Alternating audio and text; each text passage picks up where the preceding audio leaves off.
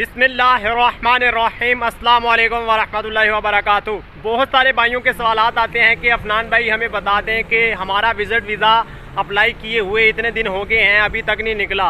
या ऑलरेडी हम जिस वीज़ा पर काम कर रहे हैं, इसका स्टेटस क्या है?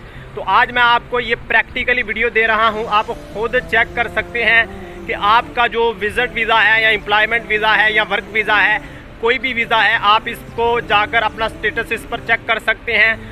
और आमतौर पर जो एजेंट के थ्रू आप विज़िट वीज़ा अप्लाई करवाते हैं, एजेंट अगर आपको वो वीज़ा देता है, अब आपको पता नहीं होता कि वो वीज़ा असली है या नकली या फेक है या ओरिजिनल है तो आप खुद जाकर आईसीपी की वेबसाइट पर जाकर जो है चेक कर सकते हैं, खुद अपने मोबाइल फ़ोन से आप चेक कर सकते हैं कि ये वीज़ा जो है ओरिजिनल है या फेक है। ठीक है ना, इसका स्टेटस क्या है? इसी तरह आप जिस वीज़ा पर काम कर रहे हैं, आया कि वो वीज़ा अभी कैंसिल है या जनाबे वाला जो भी इसका स्टेटस है, अरबाब के थ्रू इसके अंदर कोई चेंजिंग तो नहीं की गई।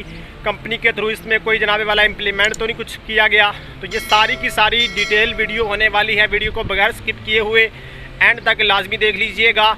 आप खुद जाकर चेक कर सकते हैं। ठीक है?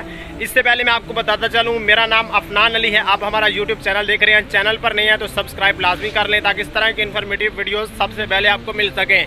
तो चले जी डेस्कटॉप की स्क्रीन पर चलते हैं मोबाइल फ़ोन की स्क्रीन पर जाकर आप ख़ुद जो है डेस्कटॉप पर जाकर ये चेक कर सकते हैं। आईसीपी की वेबसाइट जो है प्रैक्टिकली आपको दिखाऊँगा, ठीक है ना? तो चलें जी मोबाइल फ़ोन की स्क्रीन पर चलते हैं और आप अपने वीज़ा वीज़ा का या कोई भी वीज़ा है, उसका स्टेटस चेक कर सकते हैं। सबसे पहले आपने अपना ब्राउज़र ओपन करना है, इसको आप अपने मोबाइल पे भी ओपन कर सकते हैं, इसको आप अपने डेस्कटॉप स्क्रीन पे भी ओपन कर सकते हैं। ऊपर जाके आपने लिखना है गूगल डॉट कॉम आपके पास वेबसाइट गूगल की ओपन हो जाएगी। यहाँ पे आपने लिखना है I C P smart services ये क्लिक करके आपने इसको एंटर करना है। आपके पास एक न्यू पेज ओपन हो जाएगा। I C P smart services के नाम से इस पर आपने इसको क्लिक करना है। तो ये आपको एक वेबसाइट पे ले आएगा। इस वेबसाइट को आपने इस तरह स्क्रॉल डाउन करना है। नीचे एक ऑप्शन होगी पब्लिक सर्विसेज़ की। इस पब्लिक सर्विसेज़ में आपने अंदर एंटर करना है। तो एक पेज आपके ओपन हो जाएगा। यहाँ ऊपर राइट पे आपको ऑप्शन नज़र आएगी फ़ाइल वैलिडिटी की। आपने इस ऑप्शन को क्लिक करना है। इसके बाद आपके पास एक न्यू पेज ओपन हो जाएगा। यहाँ पे आप देख सकते हैं कि आपके पास काफ़ी ज़्यादा ऑप्शन हैं। तो आप, क्योंकि जीसीसी के अगर सिटीज़न नहीं हैं तो आपने इसको सर्च बाय पासपोर्ट इन्फॉर्मेशन करना है। इसको आपने क्लिक नहीं करना। पासपोर्ट इन्फॉर्मेशन पे आपने क्लिक करके नीचे आपने सेलेक्ट द टाइप में रेजिडेंसी या वीज़ा आपने वीज़ा पे क्लिक करना है।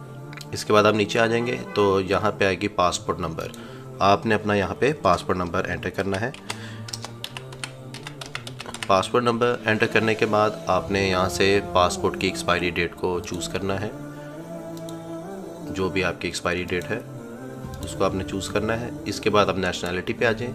प्लीज़ सेलेक्ट में आपने जाके अपना यहाँ पे। जो भी आपकी नेशनैलिटी आप पाकिस्तान से हैं, इंडिया से हैं, जहाँ से भी हैं, आपने उसको चूज़ करना है। तो उसके बाद आपने नीचे वेरीफाई एप्लीकेंट में आके I am not a robot इसको चूज़ कर लेना है। अक्सर अवत यहाँ पे एक स्क्रीन भी आ जाती है कि साइकिल का इमेज सेलेक्ट करें कार का इमेज सेलेक्ट करें तो वो आपने सेलेक्ट करना है तो ये आपका ग्रीन टिक हो जाएगा, क्योंकि मैं ऑलरेडी कर चुका हूँ, इसलिए वो दोबारा नहीं पूछ रहा मेरे से। तो इसके बाद आपने सर्च पे क्लिक कर देना इसके बाद आपके पास पूरी इन्फॉर्मेशन आ जाएगी। आपका फ़ाइल नंबर क्या है? उसके बाद आपका एमरेट्स यूनिफाइड नंबर क्या है? आपका फ़ाइल स्टेटस करंट स्टेटस क्या है? फ़ाइल एक्सपायरी डेट क्या है? फ़ाइल इशू डेट क्या है? Last date of living the country क्या है? एक्चुअली मेरे केस में, क्योंकि जो मैंने जो पासपोर्ट इन्फॉर्मेशन इसमें यूज़ की है, इसमें जो कि है, वो ऑलरेडी विज़िट करके वापस आ चुके हैं तो इसलिए इनका last date of living the country और ये सारी इन्फॉर्मेशन आ रही है। आपके केस में जो भी आपका करंट स्टेटस होगा, वो आपको यहाँ पे शो हो जाएगा। तो ये एक ऑफिशियल वेबसाइट है। इसके थ्रू आप अपना जो भी आपकी इन्फॉर्मेशन आप लेना चाह रहे हैं, वो इसके थ्रू आप ले सकते हैं। दोस्तों, मुकम्मल तौर पर मैंने आपको बता दिया है कि आप अपने विज़िट वीज़ा का या कोई भी वीज़ा का स्टेटस चेक कर सकते हैं? उम्मीद है कि ये वीडियो देखने के बाद आपको समझ आ चुकी होगी। तो इस तरह के इन्फॉर्मेटिव वीडियोस के लिए आप हमारे चैनल को सब्सक्राइब कर सकते हैं। अगर आप फ्यूचर में भी इस तरह की वीडियोस देखना चाहते हैं हाँ इस वीडियो को शेयर लाजमी कीजिएगा, ताकि कोई भी बंदा जो है वो अपने विज़ट वीज़ा का या कोई भी वीज़ा का स्टेटस देखना चाहता है तो वो देख सके। ओके जी नेक्स्ट वीडियो के साथ मिलते हैं। अल्लाह हाफिज़।